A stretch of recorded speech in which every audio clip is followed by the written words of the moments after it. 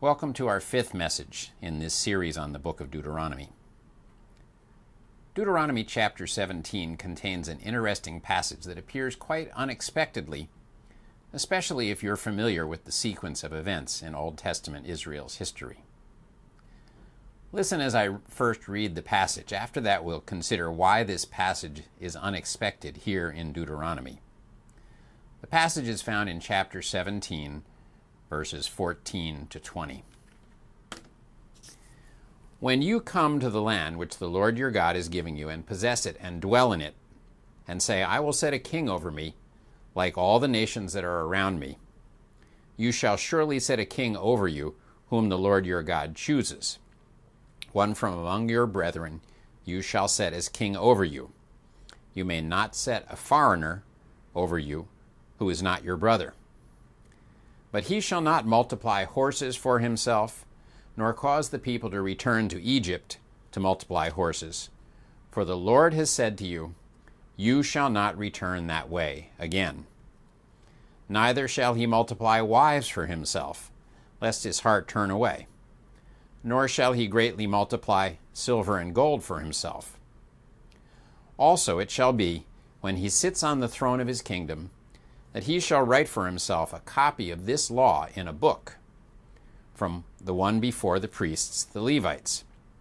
And it shall be with him, and he shall read it all the days of his life, that he may learn to fear the Lord his God, and be careful to observe all the words of this law and these statutes, that his heart may not be lifted above his brethren, that he may not turn aside from the commandment to the right hand or to the left and that he may prolong his days in his kingdom, he and his children in the midst of Israel. Allow me to explain why this discussion of a king in Israel is unexpected by giving you a bit of Old Testament chronology. Joseph, his brothers, and his father Jacob settled in Egypt in 1876 BC. 430 years later, in 1446 BC, they departed in the Exodus. They first went to Mount Sinai, where they stayed about a year and a half. Then God led them to Kadesh Barnea. It was there that the Israelites rebelled against God, refusing to begin the conquest. As a result, God led the Israelites through the wilderness for 38 years until every person who had been above the age of 20 at Kadesh Barnea had died. At that point, God began to lead the new generation in battle against the Amorites on the east side of the Dead Sea. They defeated the king of Arad and the two kings, Sihon and Og. They then camped on the east side of the Jordan River, opposite Jericho. It was there, in the year 1406 BC, that Moses presented the three discourses that are recorded in the book of Deuteronomy. After Moses died, Joshua led the Israelites in the conquest of Canaan, and then he died. What followed was the period recorded in the book of Judges, a period that lasted about 350 years.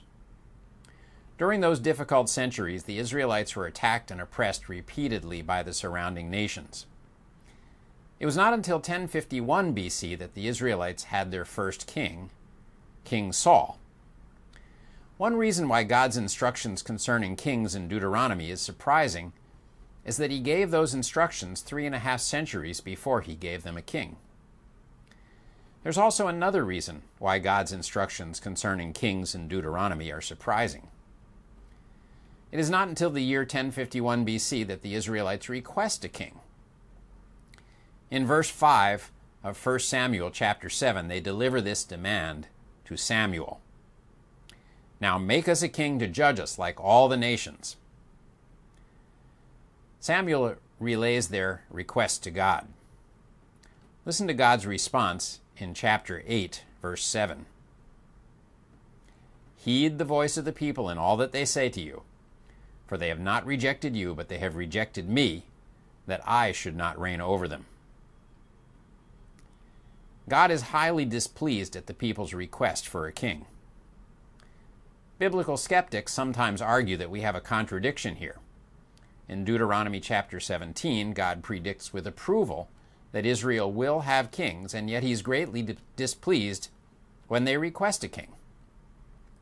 The skeptics resolve what they see as a contradiction by arguing that the book of Deuteronomy is not an authentic writing of Moses from 1406 BC, but instead a forgery from the time of King Josiah.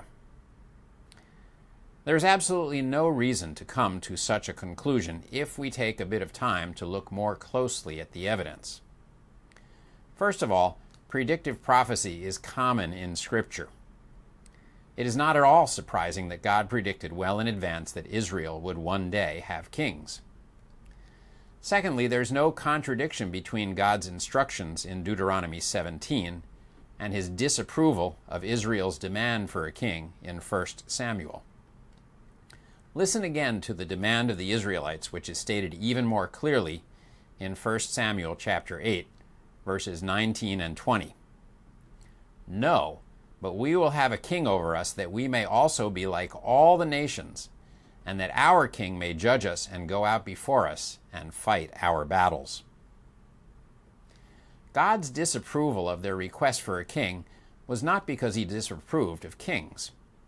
God's objection had to do with the kind of king that the Israelites wanted.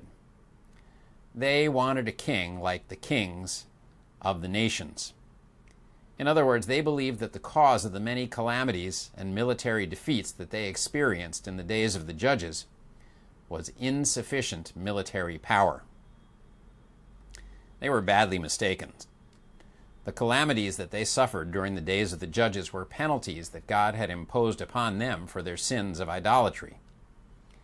As we work our way through the book of Deuteronomy in the coming messages of this series, we will examine those penalties and the sins that God warned would bring them on. For now, let's turn our attention to God's instructions for the future kings of Israel in Deuteronomy 17. God gives one requirement, three prohibitions, and one positive command. Let's look at each one of these. The requirement appears in verse 15. The king must be a native Israelite. No foreigner may ever be king in Israel. The first prohibition appears in verse 16 He shall not multiply horses for himself. Keep in mind that in the ancient Near East, horses were the key to military power. A king with many horses and many chariots would be hard to defeat in battle. The second prohibition appears in the beginning of verse 17 neither shall he multiply wives for himself, lest his heart turn away.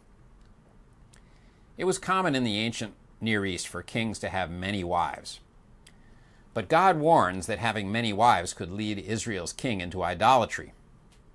The reason for this is obvious if you stop to think about it. Kings didn't typically seek multiple wives from their own people. Kings gained wives when neighboring kingdoms sought to create alliances through marriage. The Israelites were surrounded by pagan nations that worshipped false gods. Any wife given as a gift from a foreign nation would be a pagan herself. If you know the story of King Solomon, you know how dangerous foreign wives could be. Solomon ignored this prohibition, and the results were disastrous. The third prohibition appears in the latter part of verse 17. Nor shall he greatly multiply silver and gold for himself. To put it another way, kings in Israel should not seek to accumulate great amounts of wealth. This too is a warning that Solomon failed to obey. If you read the book of Ecclesiastes, you can hear the bitter lesson that Solomon learned from the great wealth that he gathered. Think now of the three things against which God warned Israel's future kings money, women, and power. The world has changed, but men have not. These three things are still stumbling blocks to men today. Finally, we come to God's one positive command for kings. Listen again to verses 18 through 20. Also, it shall be, when he sits on the throne of his kingdom, that he shall write for himself a copy of this law in a book from the one before the priests, the Levites. And it shall be with him, and he shall read it all the days of his life, that he may learn to fear the Lord his God, and be careful to observe all the words of this law and these statutes, that his heart may not be lifted above his brethren, that he may not turn aside from the commandment to the right hand or to the left, and that he may prolong his days in his kingdom, he and his children in the midst of Israel. Did you catch what God was commanding each king of Israel to do? To make his own copy in his own handwriting of the law of Israel. Scholars differ regarding whether God was speaking only of the book of Leviticus or of the entire Pentateuch. Either way, this was quite an assignment. How long do you think it would take you to copy by hand the whole book of Leviticus, let alone the entire Pentateuch? Now, that would be a very effective way to learn the law of God. There are many lessons that we can learn from God's instructions to Israel's future kings here in Deuteronomy 17. One has to do with human rulers. Most countries in the world require that their leaders be native born. That idea comes right out of our passage. The hunger for horses, wives, and golds, or to put it more generally, the pursuit of power, sex, and money, is the cause of much trouble and anguish in our world today. That fact alone is worthy of much reflection. But I want to focus on God's one positive command here. His command that the kings of Israel should copy and carry the book of the law with them at all times. Why did God give this command to the future kings of Israel? He gave it so that, as God says in verse 20, his heart may not be lifted up above his brethren, that he may not turn aside from the commandment to the right or to the left. I am no king, and I doubt that you are either. But isn't this command from God advice that we too can benefit from? Have you ever considered doing something like what God commanded the kings of Israel to do? One of the best ways to learn Scripture is to write it down by hand. There's something special about actually writing something down with a pen or a pencil on paper that helps you to remember it.